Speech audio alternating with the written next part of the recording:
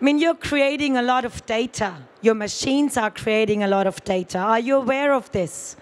That there is much more to be generated with this data. You can take advantage of this.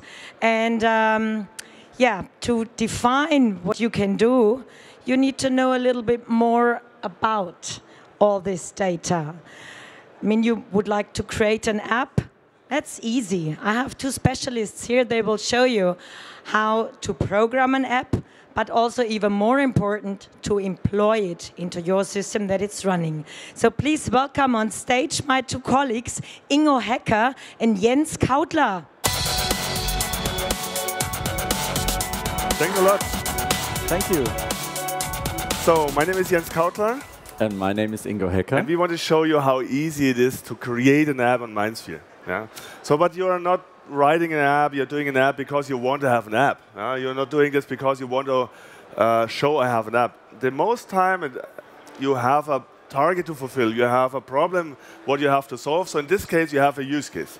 So we have a one use case uh, here for us. What is our use case? Our we are use talking case about is about beer. We are talking about beer. We are in Germany. We should talk about beer, and we are not talking about one bottle of beer. We are talking about a whole brewery.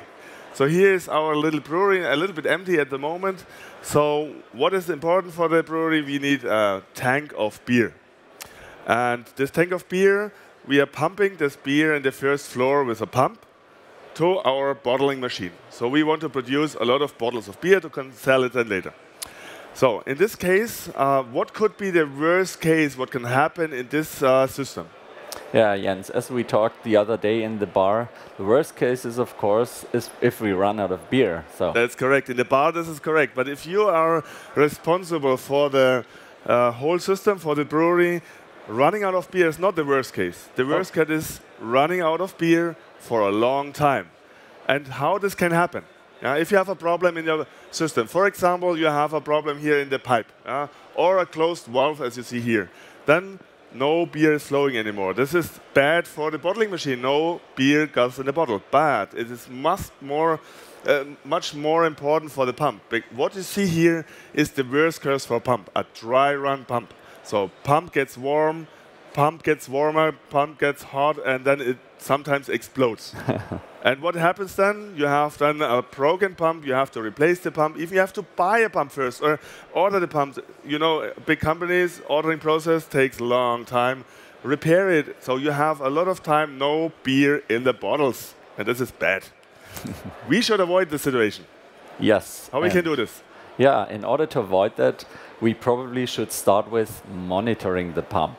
Now, pump systems can be very complex, but for our use case, just some of the parameters we can get from a pump from the pump can be or are important to us. And those parameters are the pressure before and after the pump, the fluid flow, the motor current, and of course the temperature, as you said. Fluid flow is important because we want to know how many how many beer we are pumping. But for us, in our use case, the temperature is important. We want to know is this a normal temperature in the pump, or do we have a rising temperature? What we have to direct and to run to the pump and cool it, or whatever then the direction is. Okay, so as you see here, we are not we are not programmed anything at the moment, so we have here slides. But now we are changing it. We're now going live, and um, to be sure that we are having data in MindSphere, we already built it this in Erlangen in our laboratory. So we have a lot of beer there, and we're pumping the beer from A to B. And you will see now, I can prove that we have this data live here in MindSphere. For this, we are opening the Launchpad. This is the, let's say, entry point for MindSphere. Can I see the Launchpad, please? We have then the entry point for uh, MindSphere. Uh, you have some components here, for example, the user management where you can, oh, we will see this later. We'll see later. Important for us now is the fleet manager. This is one possibility to see the data in MindSphere. In this case, um, we are opening the fleet manager, and here you see one, uh, here's the pump, what we are running in Erlangen right now. Uh, Erlangen, by the way, is in the south of Germany, if you don't know this, uh, close to Nuremberg. And here we are opening the pump. Let's see, go to the current time. Oh, you see here already something. So you see live data coming in here, 27th of April, 12.33. So we are uh, right writing here data right now we're seeing data and you see the five data points we talked about you see here the pressure in front of the, before the pump after the pump the passage so we are pumping 249 cubic meter beer an hour so this is a big tank there in Erlangen so our colleagues love us and stuffing box temperature this is the most critical point the stuffing box temperature this is the temperature inside of the pump so and you see here also um, the normal behavior of the pump, but one part is here also not normal. Let's zoom a little bit in. What happened Jens, here? I'm sorry, I only see lines. How is Uh, this connected to the beer? This is not connected to the beer. The lines are the normal behavior of the pump, but here you have an unusual behavior. Let- Let's zoom a little bit in here. The unusual behavior of the pump means Ah. here the pump is not pumping anymore at this time. You see here zero passage, so zero beer are going through the, the pipe. But you're seeing the rising temperature and you see the motor current is goes down because if you're pumping air, you don't need so much uh, power than you pump water to something. Okay, so this gap shows the lack of beer, correct? Absolutely. This little line here shows our worst case. okay, so we are now sure we have data live in MindSphere, and now we can work with this data. huh? First, you have to bring in the data. We did it. So now we should program an app. How you start to program an app? Uh, First, I have to know what I should program, Jens. Absolutely. So you are setting the requirements of the app. So as we know, our worst case is a, a pump dry running, getting warm. So at least I need the temperature in my app. And for this, the first requirements would be give me one data point. This is the temperature in this case as a graph, for example, that I can see the line is going up and uh, I have the visual view on a problem on my pump.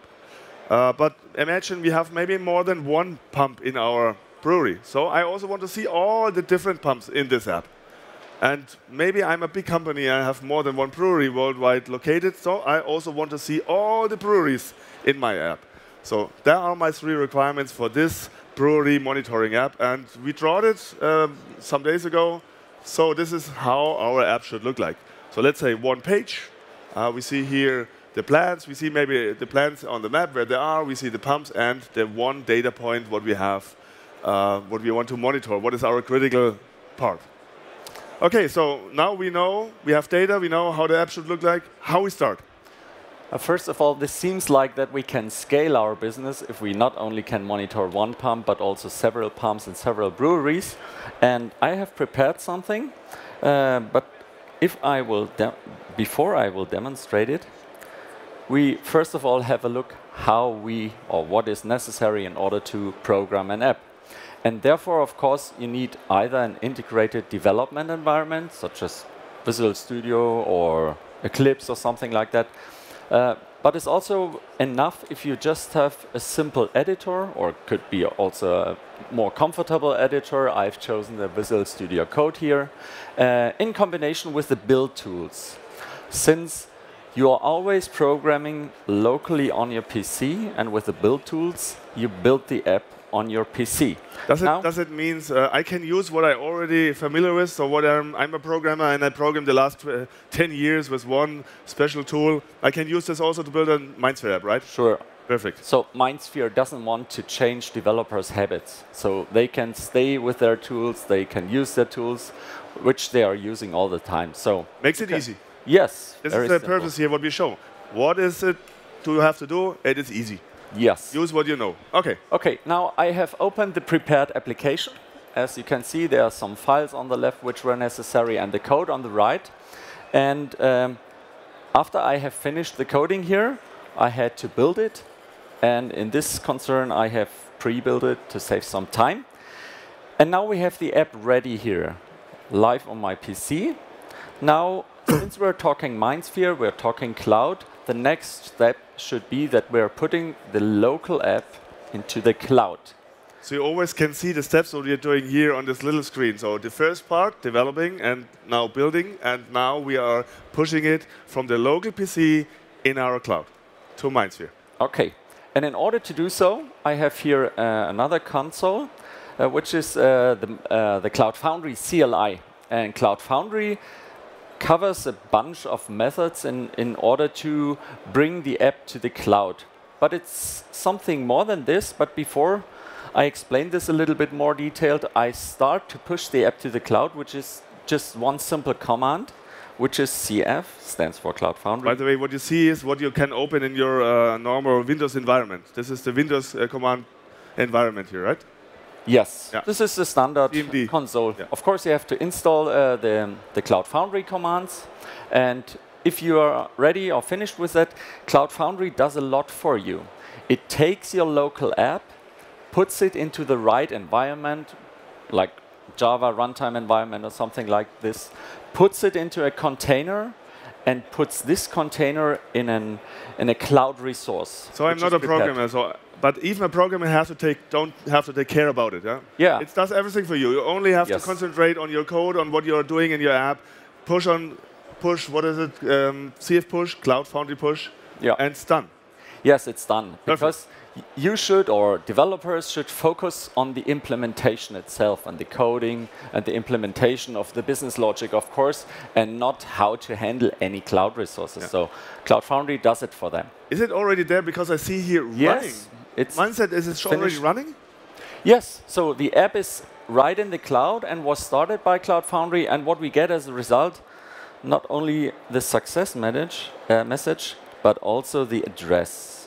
The address is like uh, like an URL what I put in in, uh, in my in my Correct. browser, right? Correct. So if we are talking cloud applications, we need an address.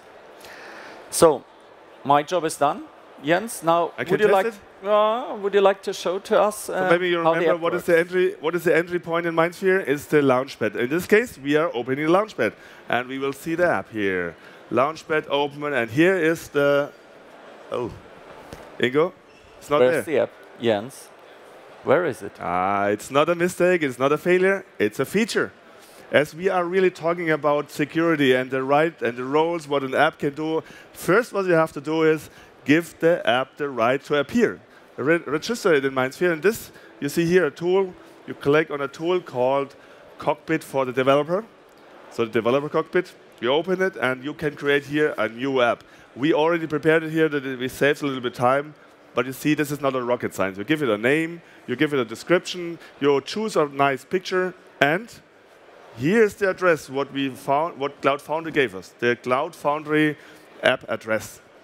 You type it in, then you click on the register, and now important, it is still not visible because you have to give the app rights right to do something. So like if you want to have the app writing uh, the data from a pump or changing the data in MindSphere or deleting data, you have to give this app the rights. For this, you are still in the developer cockpit. You click on the app, what you have here, and you choose rights for this. Yeah, and since this sounds a little bit complex, why do I have to get rights or assign rights to the application? Imagine an app that you download to your smartphones. After downloading the applications, you're probably asked which resources the app is allowed to use, for example, the camera or your contacts.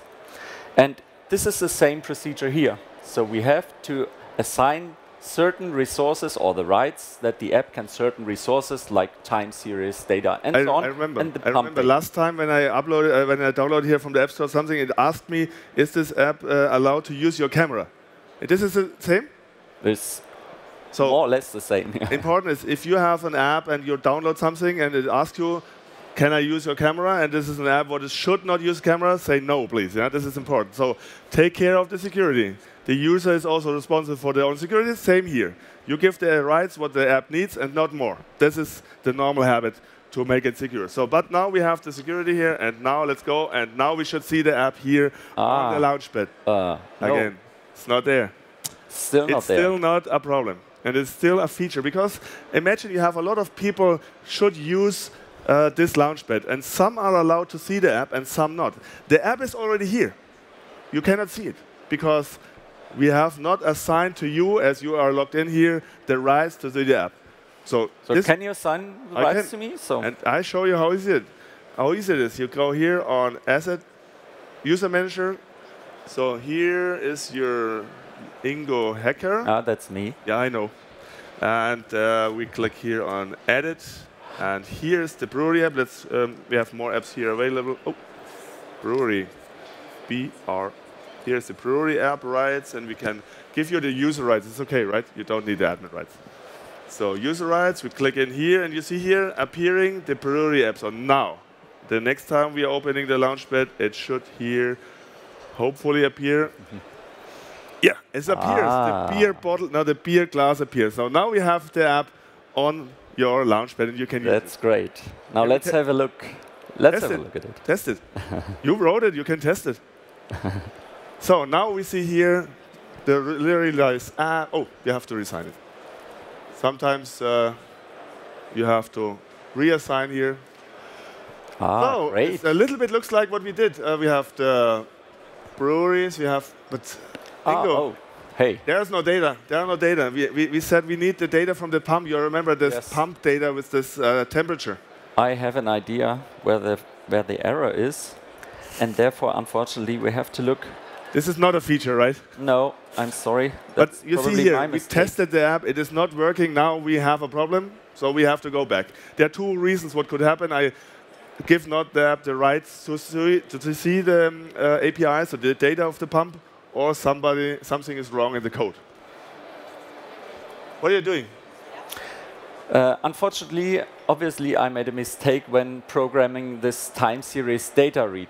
And in order to fix it, I have to have a look at the developer documentation. Because, Ah, is this documentation is public for everybody? yes, it's public. So maybe you can uh, open it on your app uh, on your phone and look for the mistake and tell us. Yeah? But I guess we did this now five days. Uh, you will find this mistake really fast, right? was a long day last night, so I misspelled it.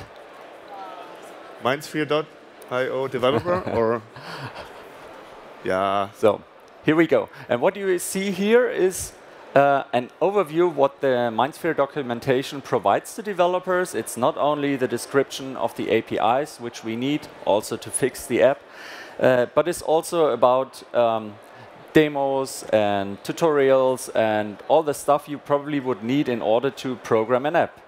Now, in our concern, we have to have a look at the APIs and especially at the time series API, which I have used to get the data of the pump. Okay. And here we go. So this is the call where it says time series, entity, and property set name. Is this what you what you code, what you copy now in your code, right? But this is the description how I should have coded Ah, okay. it. Yeah. So, and now I have to compare it to what I did. Ah, yeah, I see. So I have the entity ID and the aspect, which is the pump.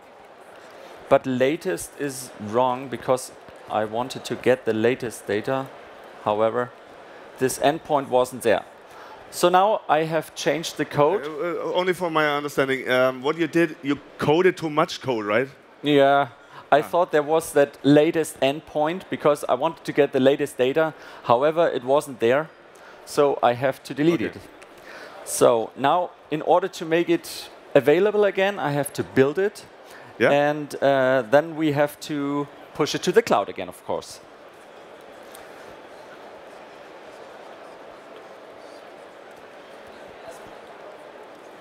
So you're creating now an executable file, what we can again then upload to MindSphere, right? I'm sorry. You're creating an uh, executable file, what Yes. you can upload. What, what I do now is I, I um, build the code again so that I have the updated app here locally on my PC. Okay. And then again, we have to do it uh, to push it into the cloud again with a CF push. But we have to really we have a shortcut here in the process. This is really a this is really a really a good thing. So as you remember, we started developing, pushing it, and then we did all the steps what we have in green here.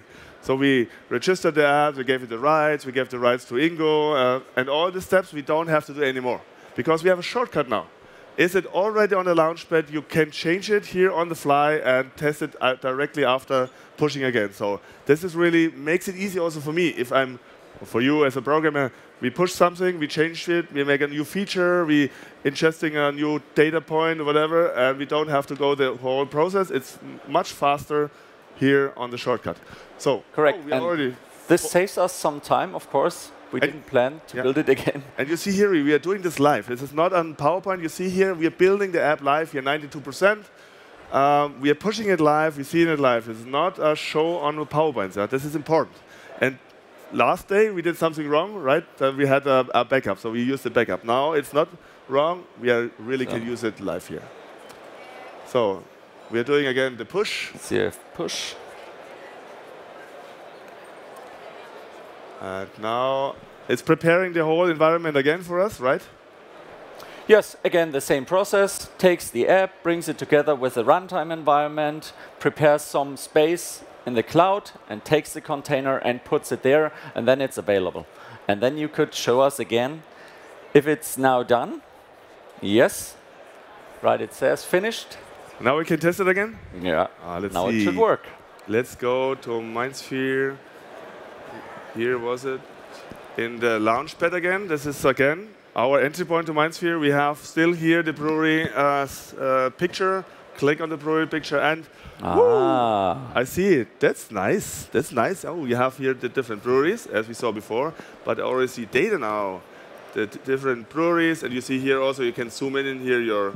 That you, you programmed really nicely here. Thank you very See much. the pump here, the one pump, and here we have the pump data. Okay, here's important.